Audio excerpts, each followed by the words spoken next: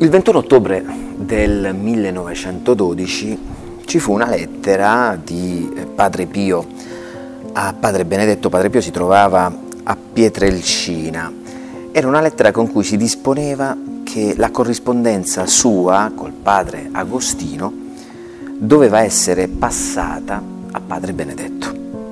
E Padre Pio scrive così: Ho ricevuto la vostra gentile lettera, la quale una, da una parte mi ha consolato perché vi siete ricordato di chi non ha né meriti né soprattutto diritto di essere ricordato, scrive Padre Pio al suo padre provinciale. Da un'altra parte poi mi è dispiaciuto alquanto della vostra riprensione paterna, sì, ma assai dura. Sono stato sempre nemico della doppiezza ed ora mi si accusa uh, che per iscusarmi ho ricorso alla menzogna solo perché dico la verità di essere quasi nell'impossibilità a scriverle.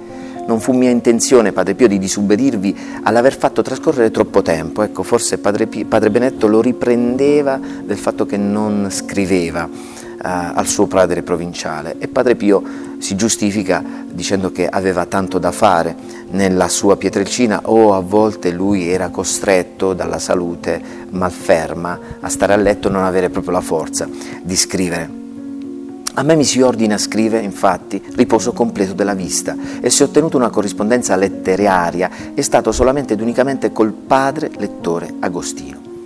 Se conoscete il mio martirio, scrive Padre Pio, babbo mio, perché lui usava questa espressione nei confronti di Padre Benedetto, trovereste giustissima la mia asserzione. Il padre lettore fu sempre il mio direttore ordinario e nessun uomo come lui conosce a fondo il mio interno. A lui son ricorso sì frequente aprendogli tutte le piaghe dell'anima, eh, senza ritegno, senza timore alcuno, ciò che non è stato possibile di fare con altri e né mi è possibile di farlo. Prego a non chiedermi il perché, scrive Padre Pio, Padre Benedetto. Se il mio stato muove in voi l'interesse e la compassione, vi prego di accordarmi un favore nei limiti sempre di una possibile indulgenza, che è figlia della stessa giustizia, cioè di farvi rimettere tutte le corrispondenze che invio al Padre Lettore con l'obbligo di tutto tener segreto, essendo questo il comando di Gesù.